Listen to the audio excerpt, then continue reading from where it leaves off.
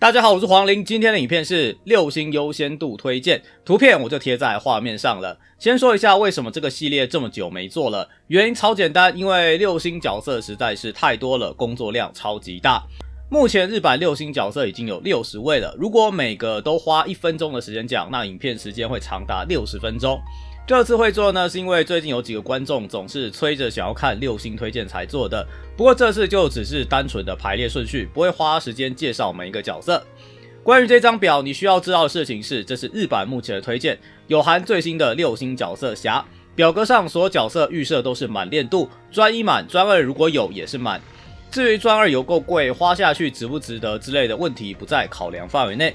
然后呢，有少数角色解放关卡很难打，有些新手可能资源够了，短时间也打不赢，无法解放。这个呢，由于我没有低等账号，谁好打谁难打，我不知道，所以解放关卡难不难打也不在表格的考虑范围内。再就是因为六星角色实在太多，我做这个表格的用心程度不如做未来式。做未来式的时候，角色的战战评价，我会看最近五个月的上场次数有几次。而如果这六十个角色每个都要按照未来式的标准去查最近五个月的记录，那工作量太大，扛不住。所以呢，战对战部分我是有点用印象去排的。至于进场方面就更主观了，是以我自己常用的角色，以及我在我自己群组有多常看到这个角色来决定。最后呢，把战对战进场还有推图作业出现频率。照我的印象，大致上做个综合评价，于是本图片就诞生了。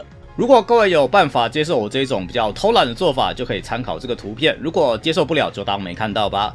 或是你觉得哪个角色评价跟你想的差很多，可以在影片底下讨论。因为我没有解释太多，所以应该还是会有人有一些疑问啦。如果是看完还有疑问，想要发问，也可以留言问。最后呢，是这次使用 Tier Maker 来制作。模板连接我贴在影片下方资讯栏了。如果你不认同我的排法，或是你想多看几个人的排法，你可以把连接丢给你信任的人去做。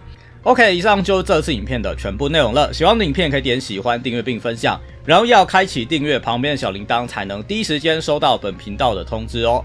感谢各位的收看，我们下次见。Goodbye。